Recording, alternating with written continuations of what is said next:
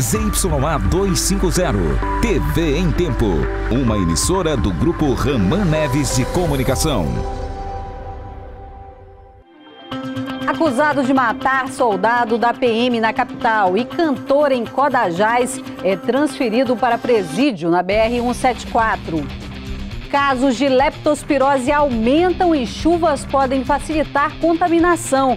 Ex-secretários de governo presos pela Polícia Federal voltam para o Centro de Detenção Provisória na BR-174. Em Lábrea, Fundação de Vigilância em Saúde confirma casos de doenças de Chagas. E a gente mostra que, se bem preparado, o açaí pode ser um importante aliado no combate a doenças como o câncer. O Jornal em Tempo desta terça-feira já está no ar.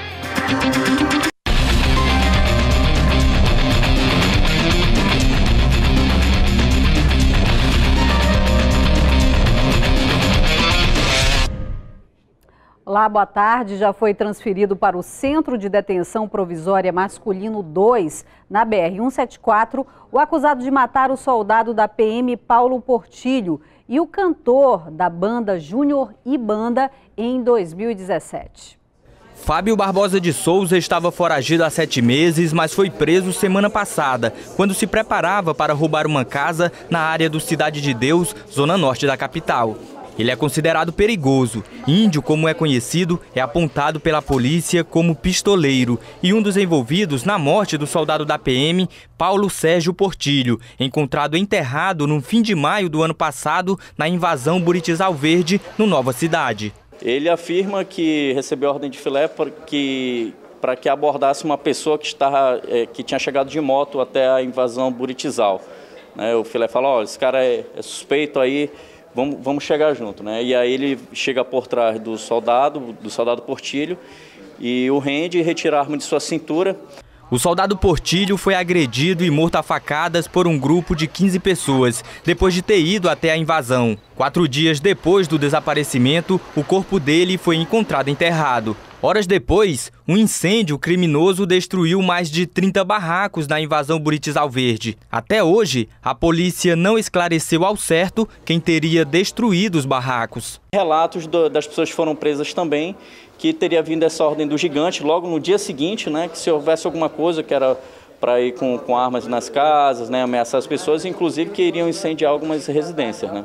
Das 15 pessoas apontadas pela polícia como envolvidas na morte do PM, 13 já haviam sido presas. Entre elas, Rodolfo Barroso Martins, o gigante, suspeito de ter batido o martelo para a morte do soldado Portilho.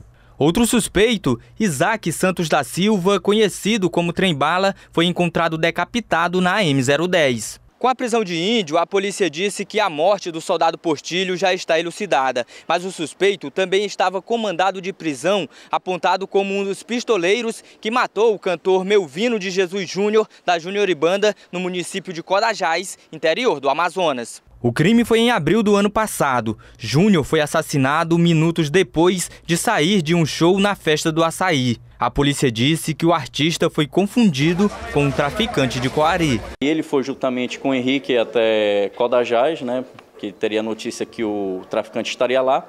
E ele vai dando apoio, né, conforme as filmagens que, que nós temos, né, ele vai bem ao lado ali do Henrique para dar apoio, para garantir a execução. A polícia ainda procura Josiel Oliveira Lavareda, o Dentinho. Índio foi indiciado por homicídio e seguiu para um presídio na BR-174.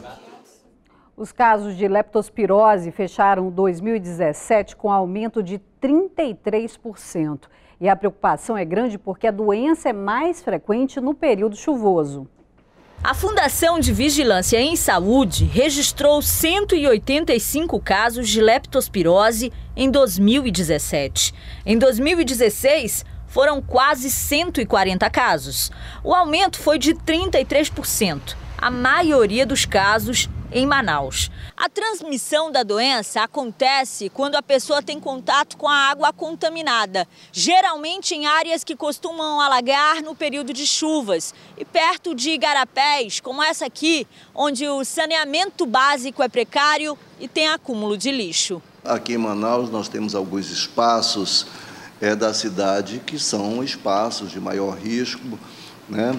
seja micro ou seja macro é, espaços, né, você tem a possibilidade de ocorrência maior dessa doença. No Nova Conquista, o lixo está na porta de casa. Um perigo para quem mora ou passa pela rua. Tá dando rato, tá acumulando rato, tá indo para as casas, né? Porque eu suponho que seja desse lixo, porque antes não dava, e agora a gente já fica meio que complicado para a gente, né? A recomendação, caso alguns sintomas apareçam, é procurar uma unidade de saúde. Nós temos o hospital de referência, que é a Fundação de Medicina Tropical, né? Vale lembrar que o quadro clínico dessa doença ela é caracterizada principalmente por um quadro febril agudo, né? geralmente febre alta, dor muscular intensa, que é, às vezes impede até o paciente de caminhar.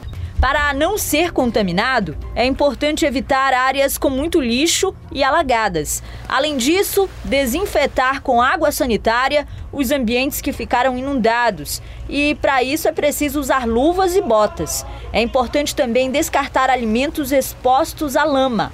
Seu Aldemir, que mora na colina do Aleixo, dobra os cuidados nessa época. Que tudo. Tem que ter cuidado, né? Ter cuidado, porque senão, né? Daqui a pouco aumenta a corrida para a compra do material escolar nas livrarias e ainda ex-secretários presos na operação custo político da Polícia Federal voltam para o CDPM 2 na BR 174. E a gente volta já já.